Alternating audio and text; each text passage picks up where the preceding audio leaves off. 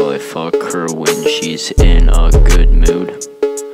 You're rude, your bitch is a crude. I like to suck her toes too.